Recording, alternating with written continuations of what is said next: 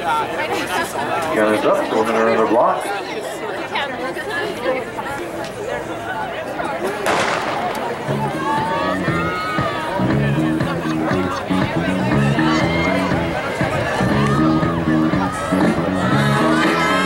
Here they come, they're on the turns.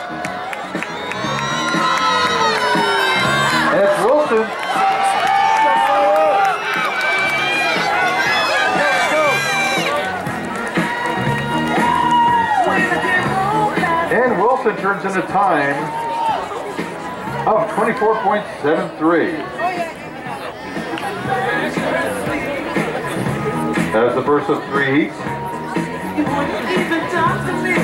Next heat, lane one,